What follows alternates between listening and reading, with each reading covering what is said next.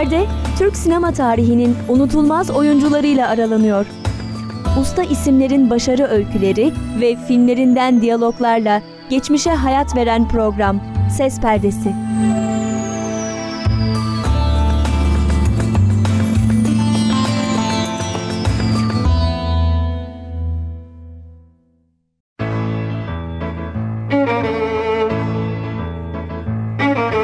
Yaşar Üniversitesi İnternet Radyosu'ndan sinemanın beyaz perdesine uzanan program Ses Perdesi'nden herkese merhaba. Bu defa biraz daha eskiye. Türk sinemasında yönetmenler dönemi olarak adlandırılan yıllara doğru kısa ve nostaljik bir yolculuğa çıkacağız. Bu yolculukta bir döneme damgasını vurmuş efsane aktrise Muhterem Nur'a eşlik edeceğiz.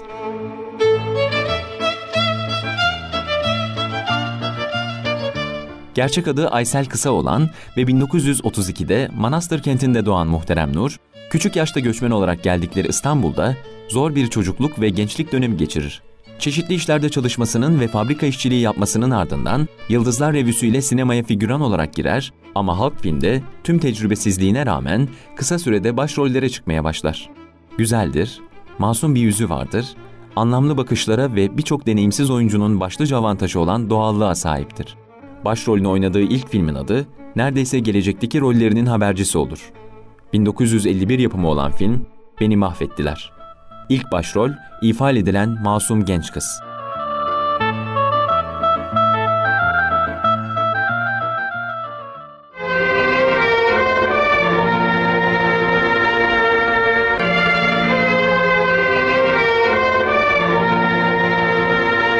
Ben de senin yaşında olmak isterdim.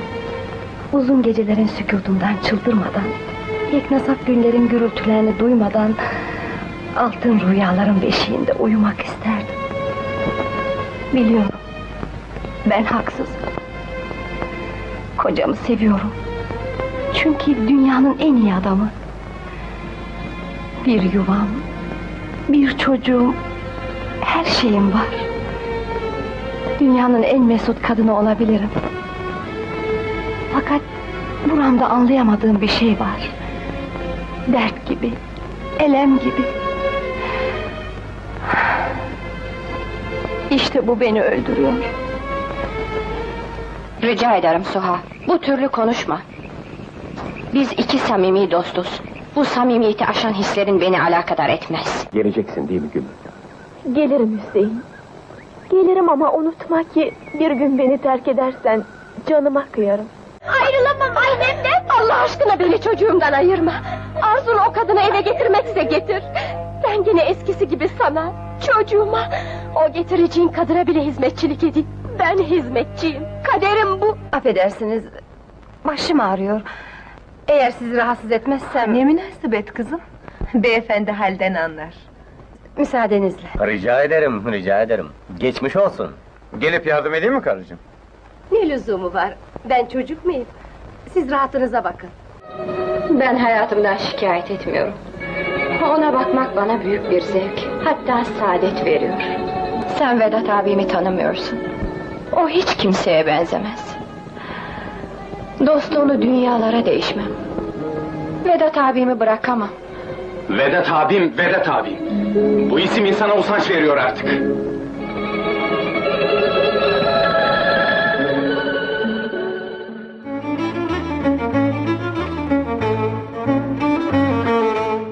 İlk döneminde hem başrol hem de ikinci kadın rollerini oynar.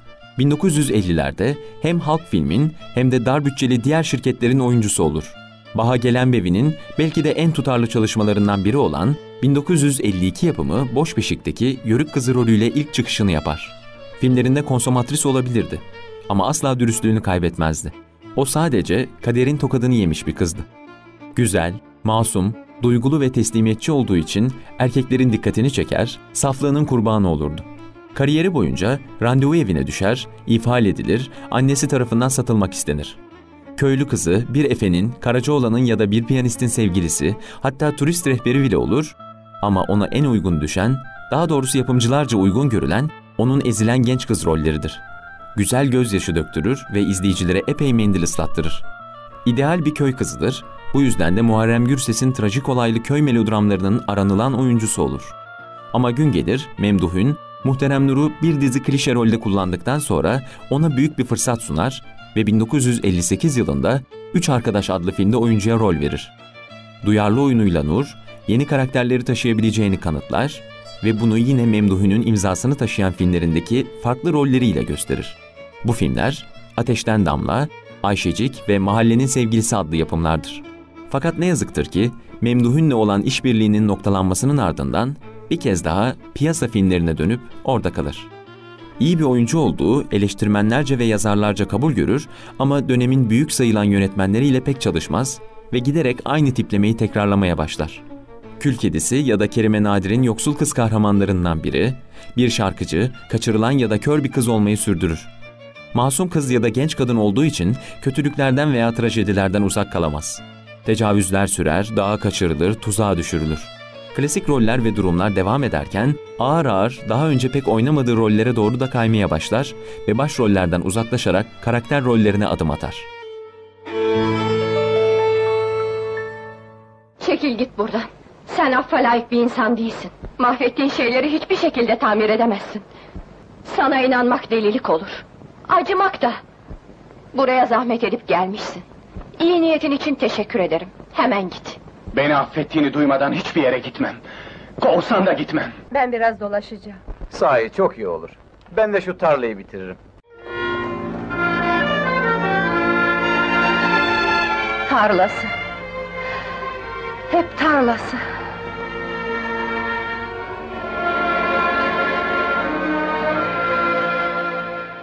Sana ihtiyacım var diye mi? Hayır. Kendim için. Bir gün bile senden ayrı yaşayamadım. Bunu anlamıyor musun? Hayat seni çağırıyor. Git Feyman. Ne olur git. Hayır. Hayır. Size yardım edeyim mi? Her işi kendiniz yapıyor, yoruluyorsunuz. Ben ölünce bütün evin işleri sana kalacak. Böyle söylemeyin. Ben kimsenin ölümünü istemem. Sen niçin herkesten bu kadar başkasın Vedat abi? Niçin seni bu kadar çok seviyorum? Bilmem. Niçin bana karşı daha samimi davranmıyorsun? Beni senden hiç kimse ayıramaz. Şu Suha'dan e, öyle nefret ediyorum ki. Canım Ömer'im, ya sana bir şey yapsaydı, ben ne yapardım? Ah, gel şöyle de derede yaralarını yıkayalım. Hadi. Beni hala çocuk yerine koyuyorsunuz değil mi? Başkalarının kalbinde büyük hisler yaratabiliyorum da... ...siz beni küçük bir çocuk sever gibi seviyorsunuz. Eğer müsaade edersen... Nereye? Ablamla eniştem gölde bir sandal gezintisi yapmak istiyorlar. Suha beni de teşvik etti. Çok geç kalmazsınız değil mi? Yo, merak etme.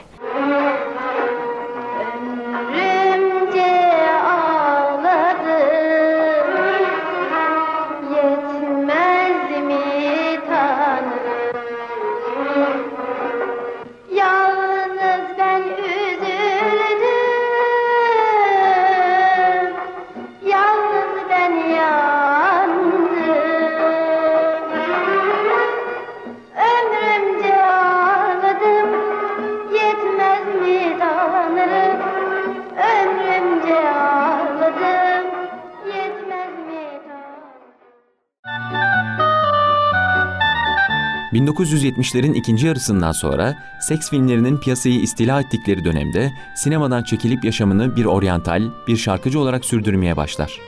Şarkıcılık döneminde uzun süre yurt içi ve yurt dışı turnelere çıkar. Üç evlilik yapar, eşlerinden birinin kumar borçları yüzünden hapse girer. Beklediği mutluluğuysa günümüze dek devam eden Müslüm Gürses'le evliliğinde bulur. Muhterem Nur'un sinemaya dönüşü 1980'lerde olur ama değişime uğramakta olan ve eski değerleri neredeyse pek önemsemeyen bir sinemayla karşılaşır. Melik Gürgen'in yönettiği Zeytin Gözlüm ve Yılmaz Atadiniz'in Son Akın filmlerinde küçük rollerde göründükten sonra sinema kariyerini uzun süredir birlikte olduğu ses sanatçısı Müslüm Gürses'in 3 filminde oynayarak noktalar. Bu filmler Sev Yeter, İkizler ve Küskünüm'dür. Muhterem Nur, sinema kariyeri boyunca yaklaşık 170 filmde rol alır ama başrol oyuncusunu yıldız oyuncudan ayıran çizgiyi bir türlü aşamaz.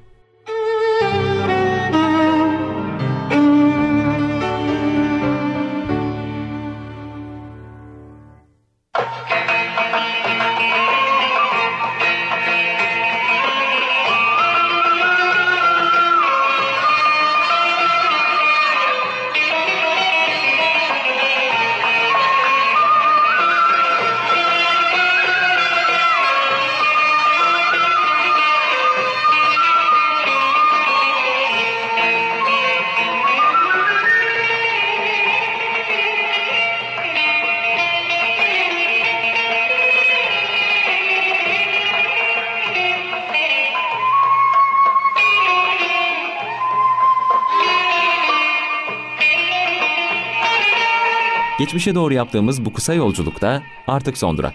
Yeni bölümde Türk sinemasından farklı bir oyuncuyla huzurlarınızda olmak dileğiyle. Ses perdesini dinlemeye devam edin. Hoşçakalın.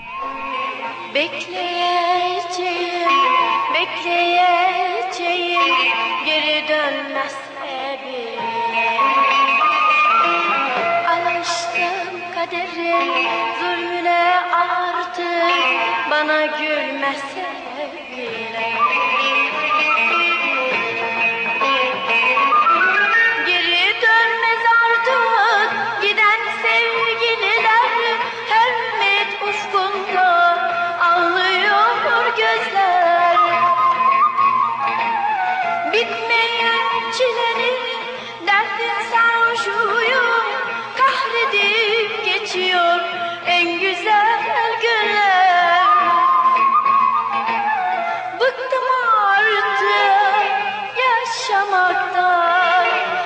Çekmekle biter mi bu hayat yolu. Ah, bu yalnızlık bu derdi